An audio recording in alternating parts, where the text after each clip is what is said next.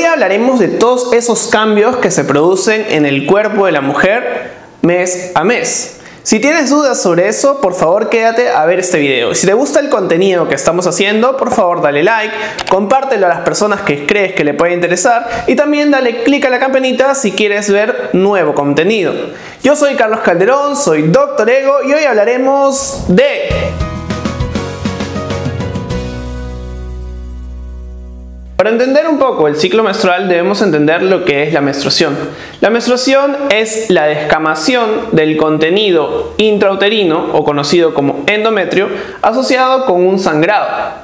Este sangrado se da durante ciclos mensuales durante toda la etapa fértil de la mujer que se inicia con la menarquia en la pubertad y se termina o cesa completamente con la menopausia en torno a los 48 a 50 años. Por definición, el ciclo menstrual inicia en el primer día de la menstruación y termina un día antes de la siguiente menstruación.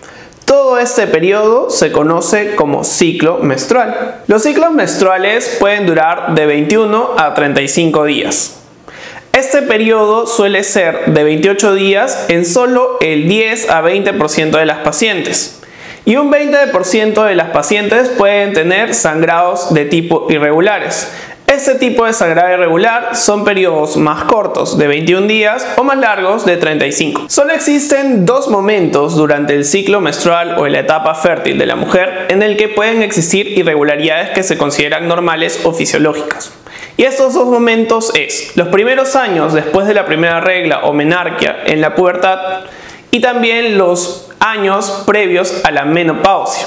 Durante estos periodos pueden haber ciclos menstruales más largos, más cortos, más intensos y estos se consideran normales. El sangrado menstrual suele durar de 3 a 7 días, siendo en promedio 5 días.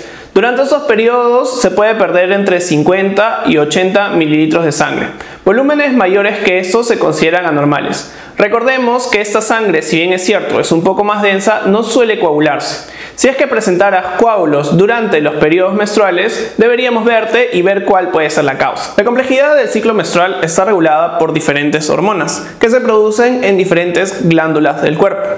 A nivel de la hipófisis, en el cerebro se producen dos hormonas que son súper importantes, la folículo estimulante y la luteinizante, o también conocidas como FSH y LH. Estas dos hormonas tienen como objetivo estimular los ovarios para producir dentro de ellos las otras hormonas que son más conocidas, como son los estrógenos y las progesteronas, que son las hormonas asociadas con el ciclo menstrual. Estas dos hormonas, a su vez, estimulan tanto el útero como las mamas, preparando al organismo de la mujer para una posible fecundación. Para explicarlo mejor, el ciclo menstrual se divide en tres fases. La fase folicular, la fase ovulatoria y la fase luteinizante. Fase folicular. Esta fase inicia con los estrógenos y las progesteronas muy bajas. Esto ocasiona que el endometrio, que estaba rico y preparado para la fecundación, se descame y se desprenda. Al iniciar esto a nivel del cerebro, la hormona folículo estimulante empieza a elevarse. Al producirse esta elevación a nivel del ovario, entre 3 y 30 folículos empiezan a diferenciarse para producir la ovulación. Una vez que estos niveles de la FSH empiezan a reducirse o estabilizarse, solo uno de los folículos que se reclutaron empieza a crecer y desarrollarse mucho más que otros. Este folículo a su vez produce niveles de estrógeno más elevados preparándose para la siguiente fase. Fase ovulatoria. Los niveles de estrógeno están llegando a su pico máximo y a nivel del cerebro la folículo estimulante y la luteinizante empiezan a elevarse. Cuando llega hacia el pico máximo de LH o hormona leutilizante, a los 16 a 32 horas se produce la ovulación. Durante el proceso de la ovulación, los niveles de estrógeno empiezan a caer y los niveles de progesterona se empiezan a elevar. Cosas a tener en cuenta durante esta fase. Si tu objetivo es la fecundación, lo recomendable es que tengas relaciones antes del proceso de ovulación. Se cree que hay mayor posibilidad de que puedas salir embarazada si es que los espermatozoides están presentes en el organismo antes de la liberación del óvulo.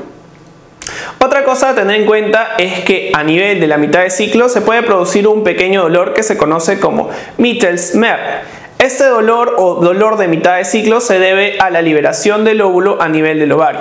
La ovulación se puede dar en el ovario izquierdo o derecho y esta sigue un patrón aleatorio. Si por razones quirúrgicas han tenido que extirparte uno de los ovarios, no te preocupes.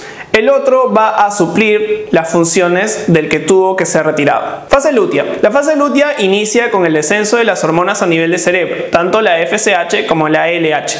El folículo roto se convierte en cuerpo lúteo y este empieza a producir progesterona. La progesterona y los estrógenos estimulan el endometrio y lo preparan para la fecundación. Si esta no se da, al cabo de 14 días este cuerpo lúteo se degenera y al degenerarse reduce los niveles de progesterona y estrógeno produciendo la descamación del endometrio que nosotros conocemos como menstruación y con eso inicia un ciclo nuevo. Espero que hayan entendido un poco más sobre el ciclo menstrual. Si tienen alguna duda por favor déjenla en la caja de comentarios. Si les gustó el video denle like y compártanlo y si les gusta el contenido que estamos haciendo por favor suscríbanse. Les recomiendo también que presionen la campanita si quieren ver nuevo contenido conforme vayamos sacándolo. Ya saben que para eso tienen a su Doctor Ego.